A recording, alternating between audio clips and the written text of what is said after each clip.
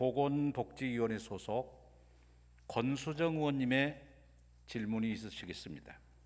나오셔서 질문해 주시기 바랍니다.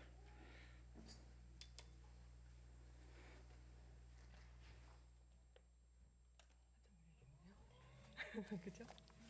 네, 맞습니다. 잠깐만.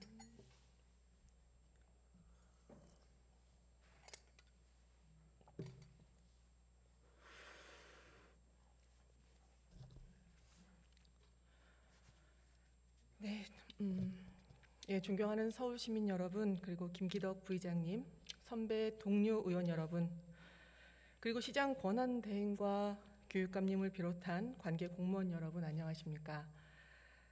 보건복지위원회 소속 정의당 권수정 의원입니다. 코로나19의 엄중한 상황 속에서 치열한 행정 사무감사 진행하시느라 정말 수고 많으셨습니다. 시정을 꼼꼼히 살펴 잘한 것은 더욱 기운내 나아가고 부족하거나 잘못한 것은 바로 고치고 대안을 만들어가는 소중한 시간이었기를 바람하지 않습니다. 저는 오늘 불편하지만 마주해야 하는 말씀을 드리고자 합니다. 그 누구도 그래도 되는 사람은 없기에 더 이상 회피하지 말고 책임 정치를 결의하는 시간이 되기를 바라는 마음으로 오늘 시정 질문을 시작하겠습니다.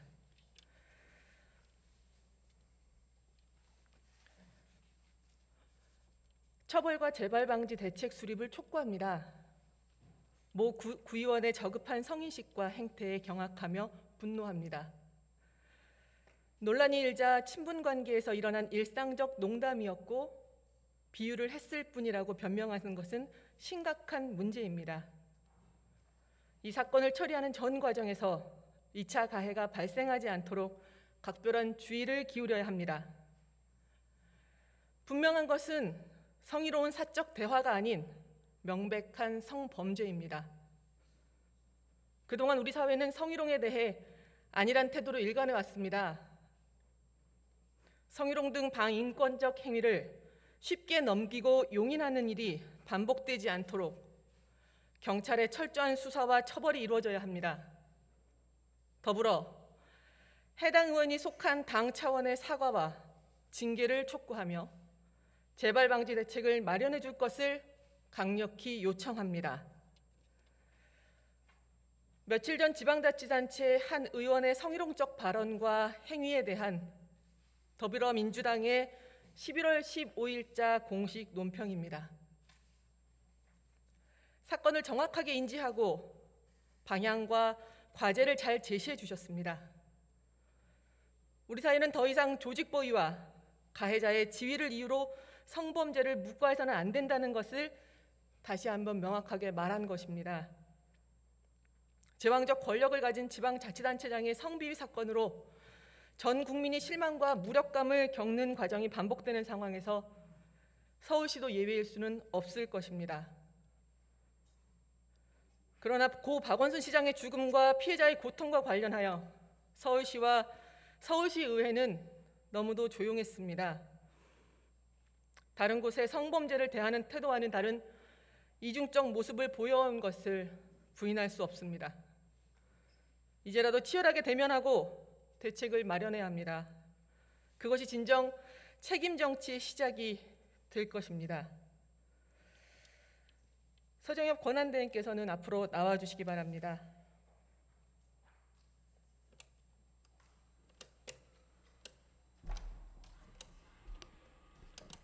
네, 시장 권한대행입니다. 네.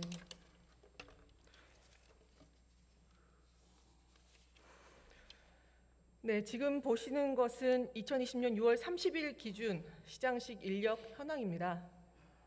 정원 23명에 현원 22명, 그중 17명이 별정직입니다.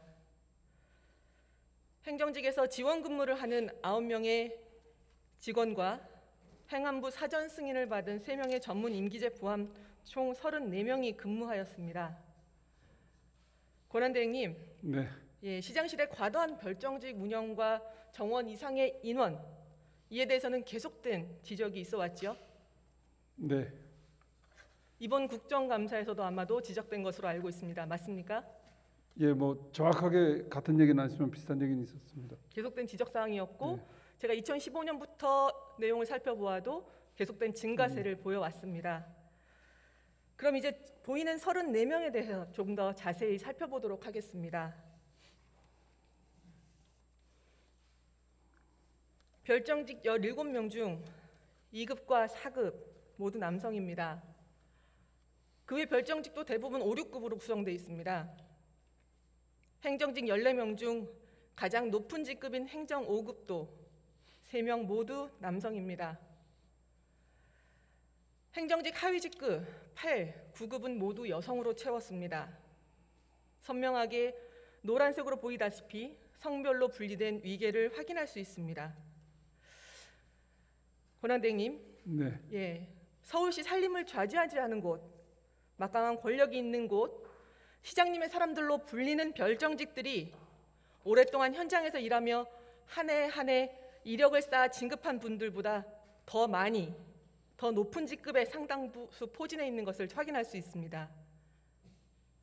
지방자치단체장의 입맛에 맞는 사람들로 주변을 애워싼 이런 구조가 서울시의 행정 운영에 있어서 정상적이라고 생각되십니까? 어, 비서실의 좀 특징이라고 생각되는데요. 지금 이제 표에서 보시면은 어, 별정직들은 주로 이제 별정직 4급 내지 5급입니다. 그리고 어, 비서실이라는 데가 이 행정직 중심으로 움직이는 게 아니라 별정직 중심으로 움직이고 행정직들은 주로 지원 업무를 하다 보니까 어, 직급 체계는 조금 차이가 나는 걸로 그렇게 아까도. 말씀드렸다시피 국회에서도 그렇고 많은 곳에서 이미 인원 제한을 넘어섰다는 지적을 계속해서 받아왔습니다. 행정 지원 업무와 크게 다르지 않은 지원 업무를 하고 있는 별정직들이 훨씬 더 많은 수를 차지하고 있는 것이죠. 다음 표를 보겠습니다. 2020년 정무 부시장실의 인력 운영 이력을 살펴보면 더욱 심각합니다. 별정직 상위 직급은 남성, 별정직 하위 직급은 여성, 행정직 상위 직급 남성, 행정직 하위 직급 여성으로 운영되었습니다. 너무나 젠더 구- 구분이 명확해서 어떻게 구, 구분을 안 하려도 안할 수가 없는 상황입니다. 고란 대행님, 네. 정무부 시장실의 정원은 어찌 운영되나요? 어, 정무부 시장실의 정원은 정원 자체는 별정직 정원만 있는 걸로 알고 있고요. 정확하게 말씀해 예, 주시겠습니까? 그러니까 14명 지금 정확한 숫자는 모르겠습니다만은 정원 14명 규정이 있습니까? 예, 정원은 있습니다. 네. 정원은 있고요. 나머지 행정직은 어, 마찬가지로 아까 시장실과 마찬가지로 어, 별정직들을 지원하는 지원 근무 인력으로 이것도 제가 예. 이력을 가져왔기 때문에 전반적으로 이곳에 계셨던 분들 전원을 지금 표시하고 있습니다. 하지만 이것도 마찬가지로 별정직들이 과도하게 그리고 행정직보다 높은 직급에 포진하고 있는 것을 확인할 수 있고 남녀의 위계 차별 차이가 대단히 명확함을 확인해 볼 수 있습니다. 2020년 정부문 시장실 내용을 보았고요. 이제 그 다음 걸 보겠습니다. 최근 6층을 구성하고 있는 시장단의 최근 3년간 인력 운영 이력입니다. 먼저 시장실 3년간 4급 이사 고위 별정직 전원 남성, 행정직 8급 이하 전원 여성. 정무부 시장실 3년간 7에서 9급 행정직 전원 여성, 고위직 남성. 행정 1, 2 부시장실 상급 전원 남성, 하위급 전원 여성. 너무도 명확한 성별 분리와 위계가 서울시의 가장 핵심인 시장당 인력 구성에서 고스란히 드러나고 있습니다. 유리천정이 아니라 단단한 성곽을 마주하고 있습니다. 권한대님 이 결과를 어떻게 생각하십니까? 어, 전체적으로 저희들이 일반 이제 비서실이 아닌 보통 부서보다는 어, 조금 더 이제 그 여성 전체 비율은 적고요. 여성들이 조금 더 하위적이 많은 걸로 생각이 되고요. 그 이유는 현재 서울시의 예, 인력 구성과 관련해서도 이번 국회에서 또다시 지적이 있었고요.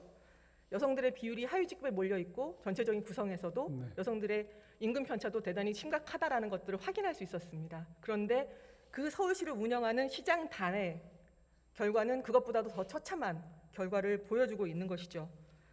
시장 시장님의 사람들로 꽉 찬 곳, 고위 직급의 남성 연대가 공고하게 들어찬 공간에서 하위 직급의 여성이 성폭력 피해가 발생했을 때 용기를 내서 문제 제기를 할 수 있는 구조로 보이십니까? 예, 뭐 상황에 답변해 따라 주시기 바랍니다. 예, 네, 뭐 다른 사무실보다 좀 어려울 수도 있다는 생각합니다. 조금 어려운 게 아니라 예. 할수 없어 보입니다. 안희정 성폭력 사건 피해자가 자신의 피해를 드러내면서 사건이 은폐되거나 어느 순간 자신이 죽임을 당할 수도 있겠구나 라는 공포를 가졌다고 한 것처럼 업무하는 공간 자체가 차기 대권 주자의 막강한 권력을 하루하루 확인하며 그 제왕적 권위자의 측근들에 둘러싸여 있는 곳에서 피해 사실에 관한 침묵을 강요당할 수밖에 없습니다. 반드시 해체되어야 될 구조입니다. 지금도 위력에 눌려 자신의 피해를 드러내지 못하는 공무원이 없는지 확인하고 종합 대책이 반드시 마련되어야 될 것입니다. 구체적인 계획을 수립하고 보고해 주시기를 부탁드립니다. 예, 지금 뭐 대책을 마련 중에 있고요. 마련되는 대로 의원님께서 좀 보고 드리도록 하겠습니다. 네. 다음 네. 지방 공무원 직군, 직렬, 직류에 비서직은 없습니다. 그러나 필요에 의해 비서 업무를 담당하는 인력을 선발해 왔죠. 네, 그렇습니다. 시장 비서실의 비서 선발의 기준과 절차는 무엇입니까? 어, 통상 이제 자, 자리가 비게 되면은 인사과에서 추천을 받고 저희가 매뉴얼화되어 있는 선발 기준과 절차가 있습니까? 어, 매뉴얼된 기준과 절차는 없습니다. 없지만 통상적으로 인사과 추천을 통해서 어, 비서실에서 면접을 하고 선발하는 그런 절차로 진행을 해왔습니다. 네, 제가 과, 과정에 대해서 살펴보고 선발하셨던 분들의 이력을 살펴보았습니다. 공식적인 기준과 절차가 없는 서울시는 인사과 팀장과 과장이 후보를 추천하고 그리고 비서실의 최종 책임이 비서실장이 최종 책임을 지는 구조였습니다. 권한 대행께서도 2015년에서 16년까지 채용, 채, 채용 책임자로 일하셨었죠. 네, 그렇습니다. 네. 그때 피해 그때는 아니지만 피해 공무원은 비서직을 지원한 적도 없었는데 이 사람을 선발한 기준은 무엇입니까? 지금 여기서 뭐 말씀드리면 또 2차 가해가 되지 않을까 좀 우려는 되는데요. 답변을 드릴까요? 2차 왜냐하면- 왜냐하면 제가- 제가 비서-. 제가 비서실장으로 근무했던 기간이 있기 때문에 아, 그 답변을- 기간이 그렇습니까? 예, 그 기간에 선발하셨습니까? 예, 예. 그래서 또 답변을 드리게 되면 조금 곤란한 말씀이 선발할 기준이 공식적으로 없고 개인적인 것입니까? 아닙니다. 그 비서실 기준은 통상 어, 뭐 비서실 근무하는 일 자체가 전화 받고서 오는 손님 응대하고 이런 거기 때문에 어, 기본적인 조직에 대한 이해, 그다음 태도 뭐 이런 것들을 많이 보고요 어, 뽑습니다. 어떤 기준이나 선발 조건이 없이 그냥 개인적인 아니면 조직에서 뭐 활용하기 좋은 어찌 보면 젊은 결국 여성 비서는 젊고 예쁜 사람이어야 한다는 잘못된 선입견에 근거한 선발로밖에 저는 볼 수 없다 말씀드릴 수 있을 것 같습니다. 왜 성평등 채용은 이루어지지 않고 있는지 묻고 반드시 바꿔야 하는 구태한 조직 문화라고 생각합니다. 맞습니까? 예, 뭐 어, 일단 아까 뭐 비서실에 전체로 보셨지만은 어, 일반 사무실은 많이 변했습니다만 그래도 비서실은 어떤 성 역할이라 그래야 되나 이런 것들이 조금 잔존하고 있고 이런 부분이 좀 개선돼야 될 점이라고 생각을 하고 있습니다. 아까 답변에서도 주셨다시피 비서에 대해서 말씀해 주셨습니다. 네.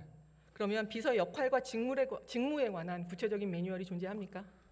어, 공식의 매뉴얼은 없었고요. 그 개인 간에 그 인수인계하는 그런 뭐 어, 서, 로 간에 그러니까 사적으로 있는 매뉴얼은 존재하는 걸로 이번에 알았고요. 공식으로는 없습니다. 예. 2018년 인사혁신처는 비서직의 전문성을 담아 비서 업무 매뉴얼을 제작 배포하였습니다. 이곳에서 비서는 숙달된 사무기술을 보유하고 직접적인 감독 없이도 책임을 수행할 능력을 발휘하며 솔선수범의 자세와 분별력을 갖고 주어진 권한 내에서 의사결정을 내리는 간부적 보좌인이다. 이렇게 규정하고 있습니다. 그러나 서울시는 속옷을 포함한 세탁물 맡기기, 명절 음식 시장 보기, 취향에 맞는 아침 식사, 식후 차 챙기기, 가족, 본인 또는 의료진이 해야 할 혈압 체크까지 비서실 여성 직원에게 요구했습니다. 이는 명백히 사적 노무 요구를 금지하는 공무원 행동 강령에도 어긋나는 것입니다. 권한대행께서 이번 국정감사에 답변을 하시면서 공적 업무와 사적 수발의 구분은 상식적으로 판단할 수 있다 말씀하셨습니다. 맞습니까? 네, 공적 업무와 사적 업무는 구분이 어, 돼야 되고요. 특히 어, 뭐 부적절한 사적 업무 지시는 없어야 되는 걸로 그렇게 답변을 상식적으로. 판단할 수 있다 말씀하셨는데요. 그럼 위의 행동에 대해 권한 대행의 상식적 판단은 어떠십니까? 어떤 행동들에 대해서? 아까 말씀드렸는데요. 네, 속옷을 포함한 세탁물 맡기기, 명절 음식 시장 보기, 취향에 맞는 아침 식사, 식후 차 챙기기, 가족 본인 또는 의료진이 해야 할 혈압 체크까지 등등의 것입니다. 일단 뭐 주신 그 사례들이 사실 여부는 이제 좀 확인이 돼야 될 거고요. 만약 그런 종류의 저기 업무들은 저는 사적 업무에 들어간다고 생각합니다. 네. 다른 이의 상황에 무지할 수 있는 권력을 가진 이의 상식은 절대 상식이 아닙니다. 사적 수발이 상식으로 포장되는 곳에서 성차별적 업무 환경은 더욱 공고해집니다. 언론 보도에도 나왔지만 피해자는 시장의 신분증을 가지고 병원에 가서 수차례 대리 처방을 받기도 했습니다. 의료법상 불법 행위임에도 명확한 지시에도 피해자는 저항할 수 있는 어떠한 도구도 없었습니다. 감히 상상조차 하지 못했습니다. 업무 거부는커녕 인사이동조차 어려움을 겪었습니다. 지금 이 순간 우리가 괴로워도 구조의 문제, 조직 문화의 문제를 짚어야 하는 것은 권력은 언제든 폭력으로 바뀔 수 있기 때문입니다. 권력을 가진 사람은 누구든 폭력의 가해자가 될 수 있습니다. 그렇게 되지 않도록 제도와 구조, 문화를 만들어야 합니다. 향후 비서 채용에서부터 업무 관련 명확하고 투명한 제도를 만들어야 합니다. 동의하십니까? 예, 뭐 동의하고요. 이번에 저희들이 사건을 겪으면서 어, 저희 조직이 취약했던 부분이라고 생각됩니다. 그래서 어, 지금 그 대책 특별 대책위원회와 함께하면서 지금 말씀하셨던 부분, 예를 들면 뭐 비서의 업무에 명확하라든지 매뉴얼 또 뭐 인사 채용 절차나 기준의 문제 이런 것들 다 마련 중이란 말씀드리고요. 마련되면 또 의원님께도 한번 보고 드릴 수 있도록 그렇게 하겠습니다. 네, 말씀 감사합니다. 제대로 된 대책이 마련될 수 있었으면 하는 바람을 다시 한번 말씀드립니다. 피해자는 4월 이전에 함께 일하던 비서실 사람들로부터 호출되어 성폭력을 당했습니다. 미혼, 여성, 심기보자 등 사적 수발을 담당하던 피해자는 늦은 시간 호출에 거부할 수 있는 권리를 가진 이가 아니었습니다. 직장 동료로서 존중하기보다 자신을 위무해줘야 되는 존재로 규정한 위력은 서울시에도 그리고 여기 의회에서도 낯설지 않은 우리 주변의 풍경입니다. 피해자가 수사기관에 사건 의뢰하고 서울시가 인지하였지만 가해자는 대기 발령 조치만 받았습니다. 가해자의 신분상 불이익을 우려한 감사위원장의 의견을 존중한 것입니다. 시장 대행께서는 이 조치가 맞다고 생각하십니까? 어, 저희들이 이제 그 저희 이 피해가 접수가 되는 게 저희들한테 직접 접수가 되는 경우가 있고 어, 이번 경우 같이 경찰로 이렇게 신고가 된 경우가 있습니다. 그런 경우는 저희들이 정확한 그 신고된 사실에 대해서 파악이 어렵습니다. 그렇기 때문에 어, 절차상 바로 어떤 조치를 할 수 없고 뭐 이번에도 의원님 아시겠지만은 첫째 처음에는 그냥 경찰 쪽에서 나온 얘기로 듣고 그다음 언론 보도로 확인하고 그다음 나중에 공식적으로 수사 통보를 받은 거고요. 그래서 거기에 따라서 맞는 조치는 했다고 생각합니다. 맞는 조치가 아까 말씀드렸던 것처럼 다 대기 발령 조치 입니까? 예, 대기 발령했다가 이제 수사 개시 통보가 오고 어, 직위 해제 조치를 했고요. 그때는 이제 당, 그 매뉴얼상은 맞는 조치였는데 조금 이제 그 사건이 있고 나서 저희들이 5월달에 대책을 보완해서 조금 보완을 했습니다. 그래서 어느 네. 상황에서 인지가 되면 바로 네. 직위 해제 조치할 수 있도록 저는 그때도 저희 네. 서울시가 안이한 태도로 일관했다라고 생각을 하는 것이 있습니다. 조직의 가해자가 피해자가 있고 특히 남녀 고용 평등 및 일가정 양립 지원에 관한 법률 제14조 2항에 따르면 사건을 인지하면 지체 없이 그 사실을 조사해야 하는 의무를 방치한 것입니다. 이 조항을 알고 계십니까? 정확히 고정은 모르고 있었습니다. 저희 조례는 다른 곳에서 인지하고 사건을 조사 중인 상황에 대해서 다, 시 중복해서 조사하지 않습니다. 하지만 이 법률에 의하면 그 사실을 인지한 순간 조사해야 되는 의무를 가지고 있습니다. 우리 조례가 가지고 있는 한계점 그리고 허점을 제도 개선할 필요가 있다고 저는 생각합니다. 어떻게 생각하십니까? 어, 예, 그 부분 저도 뭐 다시 한번 보겠습니다. 네. 피해자는 이 사건으로 공무상 재해를 신청하기 위해서 행정 포탈에 신청서를 올렸습니다. 과정에서 피해자의 신원과 피해 내용이 무방비로 표출되었고 많은 이들이 사건을 인지하는 상황이 발생했습니다. 뒤늦게 이를 알게 된 피해자의 항의로 열람 권한이 뒤늦게 제한되는 일이 있었습니다. 그러나 고스란히 2차 피해는 발생하고 말았습니다. 내부 고발, 고충 처리에서 피해자를 보호하는 것은 기본 중의 기본입니다. 성폭력 피해자의 보호 조치가 서울시 아니란 행정이 적나라하게 드러나는 사건이라고 볼 수 있습니다. 권한, 권한대행께서는 이 피해자에게 무감심했던 그리고 2차 피해에 대해서 이렇게 발생하고 있는 상황에 대해서 인지하고 계십니까? 어, 뭐 당시에는 인지를 못했고요. 나중에 발생하고 나서 추후에 저도 확인을 했고요. 어, 뭐 특히 아까 말씀하신 문서 정보 시스템에서 어, 그 공개되고 했던 점에 대해서는 굉장히 저희들이 소홀했고요. 바로 조치는 했습니다만 뭐 이런 부분들은 계속 저희들이 어, 특히 2차 가해가 연계되는 부분들에 대해서 굉장히 주의하고 또 개선해야 될 거로 생각이 되고 이 있습니다. 곳곳에서 이렇게 내부 고발을 진행하시는 분들이 다시금 조직 내에서 고발한 내용에 대해서 확인을 받고 있는 사례들을 많이 접하고 있습니다. 이 부분에서 서울시가 제대로 된 대책을 내놔야 될 거라는 다시 한번 당부를 드리고요. 예, 박원순 시장 사망 이후에 피해자에게 행해진 2차 가해, 지금 같은 저희의 무분별한 행위 그리고 행정이 아니란 태도 때문에도 대단히 심각했고 또 2차 가해는 너무나 빈번하게 발생을 했습니다. 코로나 상황에서도 서울시는 5일간 서울시 장으로 고이- 고인을 예우했습니다. 죽어서도 발휘되는 막강한 위력을 피해자와 국민들께 보여준 것입니다. 역대 비서실장들은 시장실에서 근무하는 동안 시장과 고소인 사이에 이상한 낌새를 감지하지 못했다. 나서서 발언하고 관계자들은 조사 과정을 거부했습니다. 이들 중에는 수년간 피해자의 구조 요청에 응답하지 않았던 사람들도 있습니다. 신원을 특정할 수많은 정보가 떠돌고 서울시에서 촬영된 영상이 악의적으로 편집돼 돌아다녔습니다. 이는 성폭력 특례법 위반이며 2년 이하 징역 또는 500만 원 이하 벌금형에 처해- 처해질 수 있습니다만 서울시는 적극적으로 대응하지 않았습니다. 권현대님, 예. 이 영상의 유출자가 누구인지 조사하셨습니까? 어, 저는 사실은 영상이 있었다는 거를 의원님 답변 준비하면서 처음 알았고요. 어, 이 영상 사진 등이 사진은 있었습니다. 여기도 있었고 했는데 어, 이 저희들이 유포자가 누군지를 특정할 수는 없었고요. 그래서 뭐 밝혀내지는 못했습니다만은 어, 이런 그 2차 가해 특히 뭐 신상 유포라 이런 거에 대해서는 어, 저희들이 엄중하게 조치를 했고 앞으로도 더 엄중하게 조치를 하고요.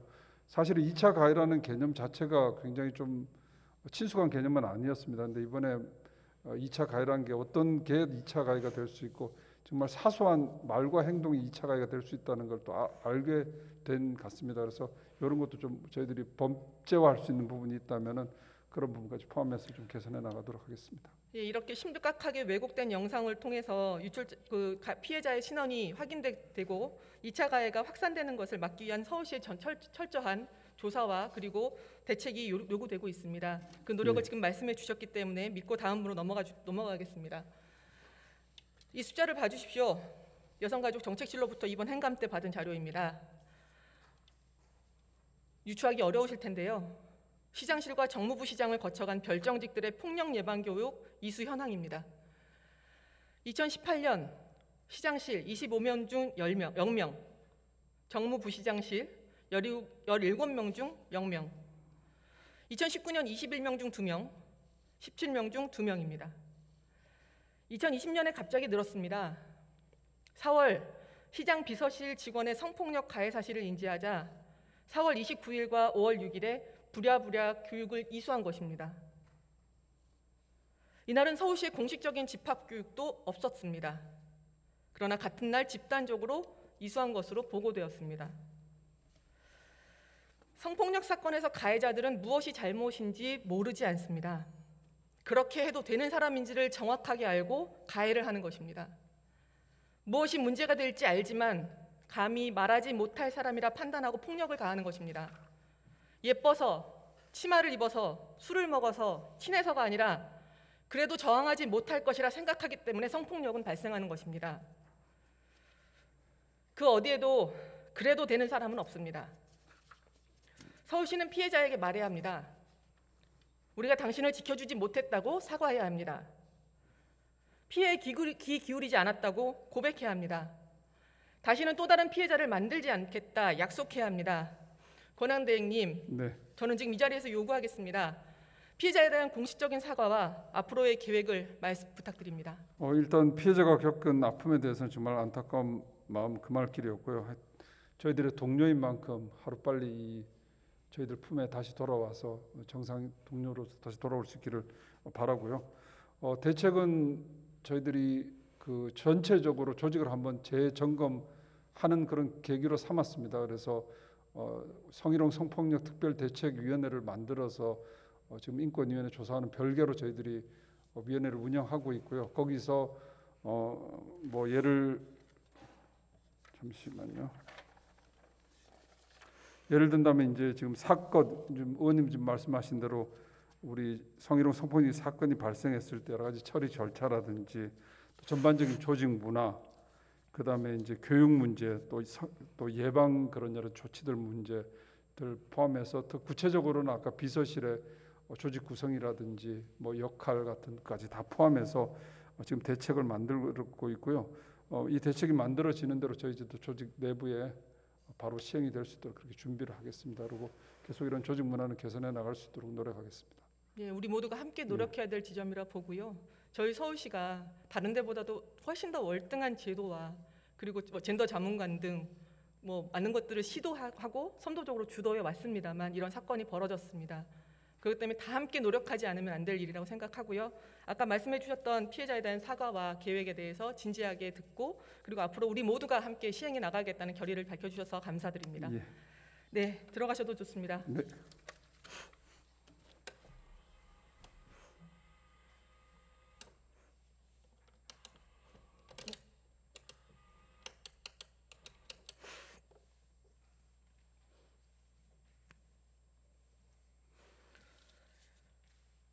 최근 젠더 미디어 슬랩에서 만든 90년대 여성의 자살 사망에 대한 대해 조망한 조용한 학살이 다시 시작됐다 영상이 시민의 큰 관심을 받고 있습니다.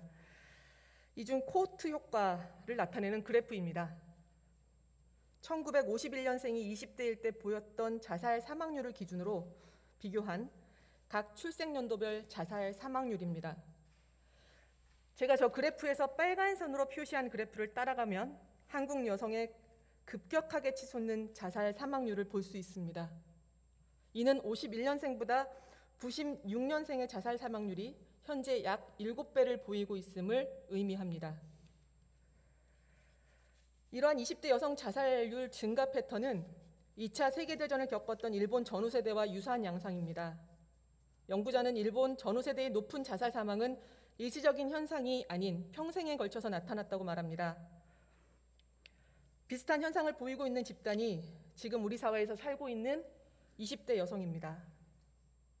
엄마들보다 딸들이 20대 자살을 선택할 삶의 조건이 다섯 배 증가했고 평생 동안 이어진다는 결과를 의미하는 것입니다. 올해 서울시 20대 자살자 수가 두배 정도 늘었습니다. 특히 20대 여성 자살 시도자 수는 다른 세대에 비해 압도적으로 4배에서 5배 이상 많습니다. 올해 3월 코로나로 20대 여성 12만 명이 일자리를 잃었습니다. 카드 연체율, 현금 서비스 사용률, 주거 지원 요청 비율, 실업률, 자살 동향 데이터 등 모두 20대 중심으로 급증했습니다. 여성 폭력은 더욱 심각합니다.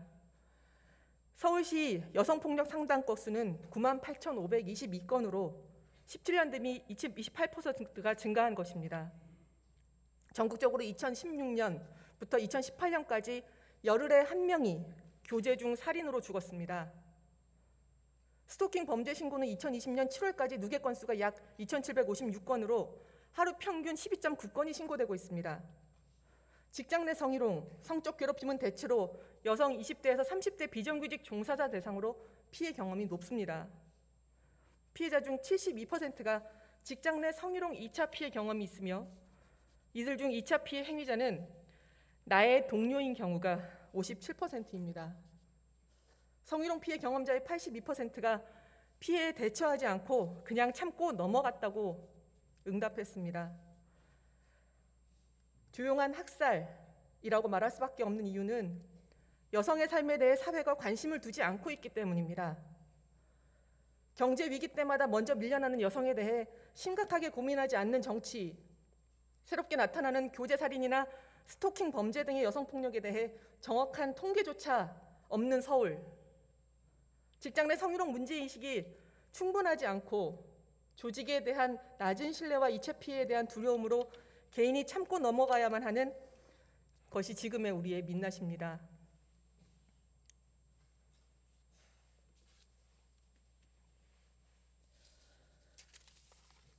여성의 삶이 다각적으로 취약성에 노출되고 있으나 이런 위기에 대해 우리 사회는 어떤 시그널도 주고 있지 않습니다.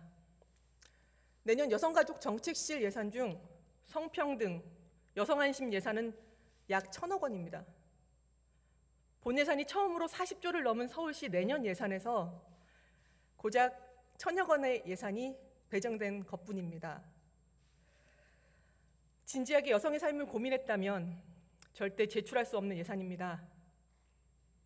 서울시는 지금이라도 여성의 현실과 직시, 현실을 직시해야 합니다. 심각성을 인지하고 대전환을 해야 합니다.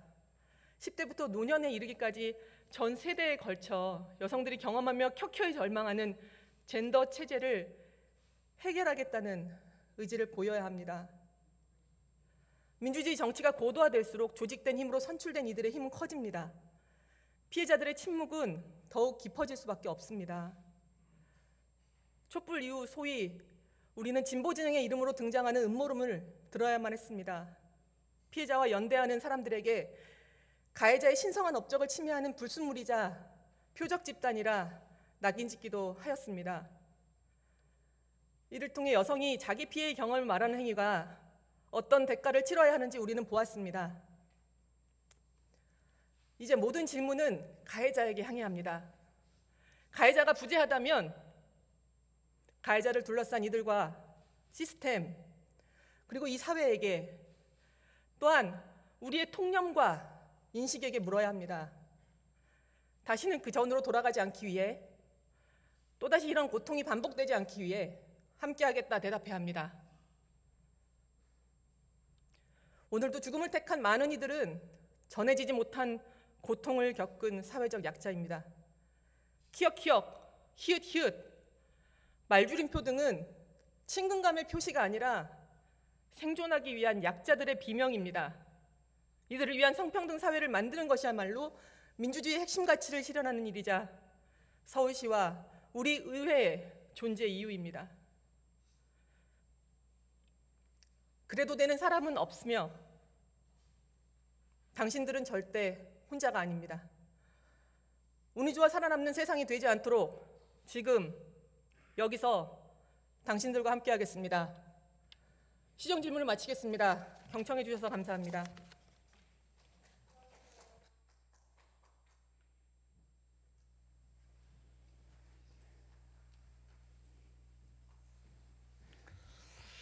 어, 권수정 의원님 수고하셨습니다.